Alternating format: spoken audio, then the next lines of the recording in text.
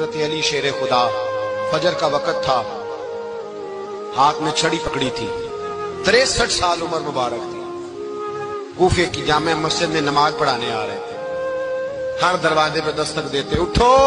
असलात नौम रस्ते में हज़रत अली लोगों को जगाते जगाते आए। जब मस्जिद कूफा में पहुँचे तो एक बदबख्त खंजर छुपाए खड़ा था। उसने हज़रत अली रदी अल्लाह तला को खंजर मारा। वो दोस्ताना जो 10 साल की उम्र में शुरू हुआ था। जब शेर खुदा को खंजर लगा तो पता लफ्ज क्या थे? फूस तू बे काबा।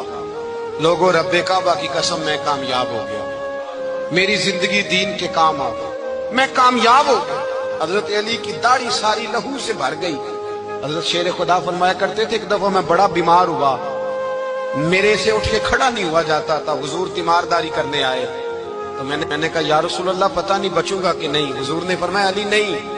तू उस वक्त दुनिया से जाएगा जब तेरी दाढ़ी लहू से रंगीन हो जाएगी। शेर खुदा कहते हैं, जब जख्म लगा तो मैंने नीचे झुका कर देखा तो दाढ़ी लहू से भरी हुई है।